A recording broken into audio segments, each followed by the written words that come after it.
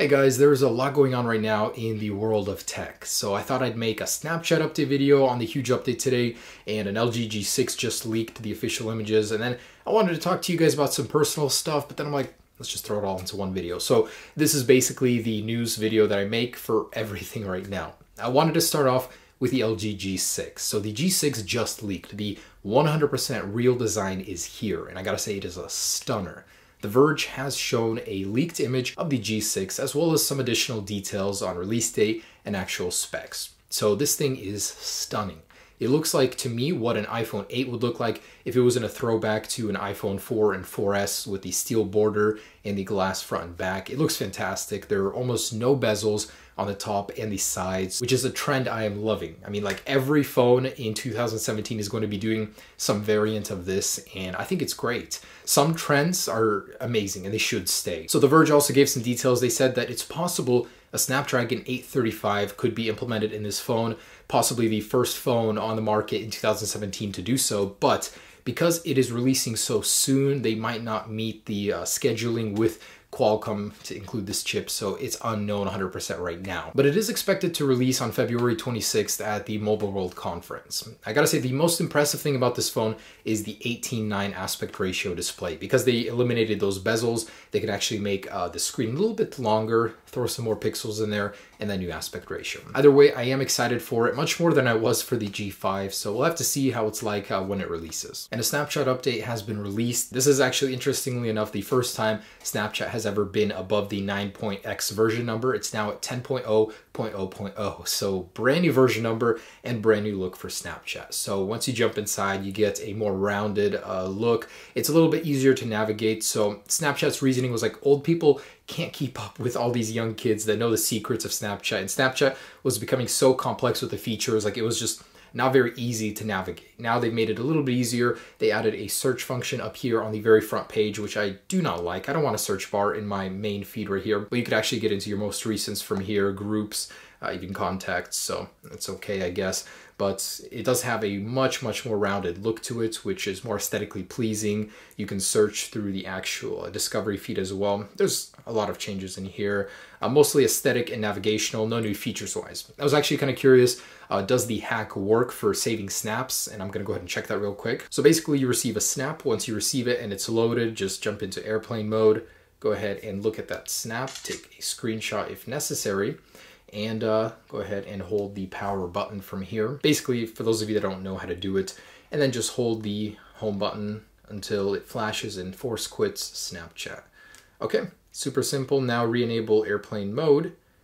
And if this worked correctly, you should still see the snap in here, which it did. So uh, I didn't get a notification on this guy, which means the Snapchat hack is still working on the latest version of iOS 10. If you guys are jailbroken, Phantom Light is not working at the moment, so take caution, don't update yet.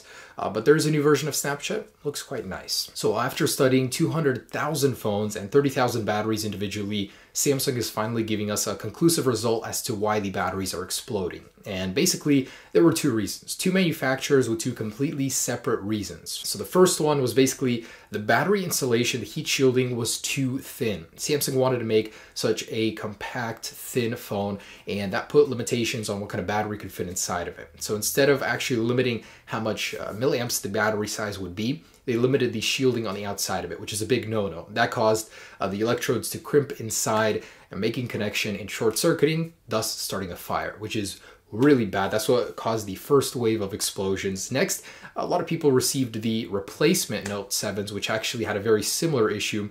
Uh, some of them were missing some heat shielding tape inside the battery. As a result, there were sharp protrusions inside the battery, catch fire, and same problem again. So you know, Samsung gave up at that point. They refunded everyone. I got my money back.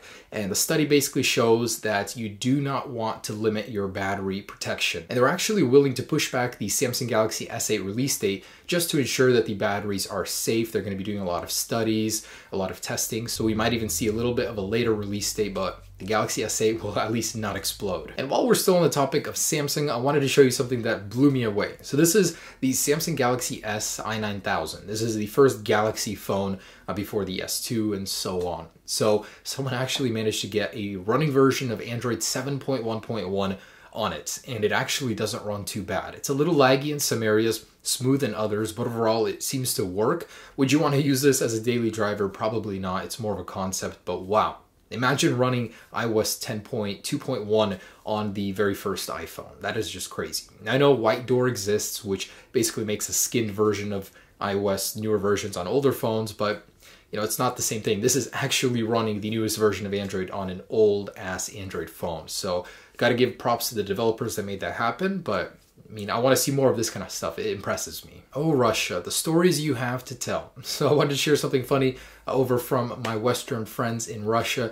One guy actually had a phone that he was using above an ice fishing hole on a lake, so he dropped that iPhone in there. It was an iPhone 7, so it, it is waterproof, you know, and it surprised me how capable this thing was even in 4 degrees Celsius water. So after 13 hours in that hole, uh, his friend managed to retrieve the phone from underwater and hand it back to him still working. It dropped like 15 16% in charge during that time, 13 hours, but it still worked. And it didn't even seem too deep, but that's not the point. The iPhone isn't rated for waterproofing yet. It still amazes me how capable it is as a water resistant phone. So the iPhone 8, which is said to be even more resistant at IP68 rating, will do even better. I can't wait for it. But, you know, stories like this always pop up it always does impress me. So we know that Apple is working on iOS 10.3. It's been said that it might come with a night or dark mode. Hopefully we'll see a beta 1 here soon. It was supposed to be here already. I don't know where it is.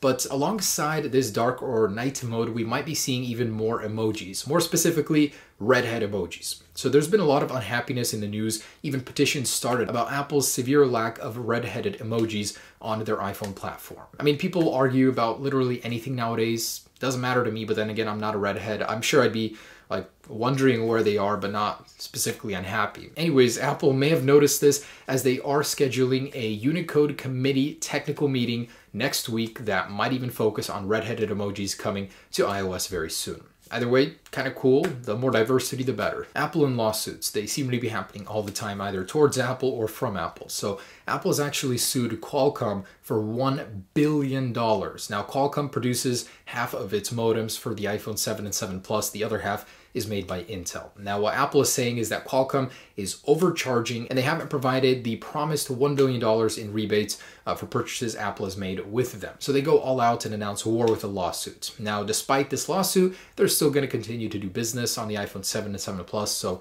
don't worry about any shortages or anything like that. So hopefully this could mean somewhat cheaper or uh, iPhones in the future that don't go up in price uh, thanks to this lawsuit if they do happen to win. And the very last thing I wanted to mention, which is a little bit sad, it makes me a little sentimental, the iPhone 2G is officially dead. Now I know it's been dead since 2008, but AT&T has officially shut down the 2G Edge network that it runs on. So if you manage to get a SIM card inside of one, you will no longer be able to actually use it on a network with AT&T. So that is a little bit sad, but as of January 1st, uh, AT&T said it was discontinued for like two weeks before they announced it, and no one has complained. So I'm assuming nobody is still using that phone on the network. If they are, they got to upgrade to the iPhone 3G at least now.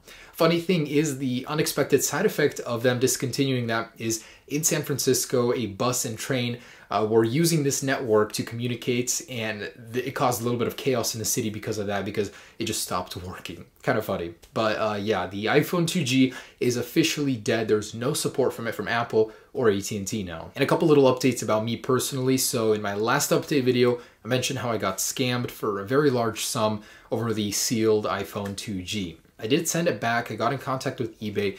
I think, with fingers crossed right now, that everything will be okay. So they said send it back. It depends on what he says, uh, if I'll get my money back if I didn't open it.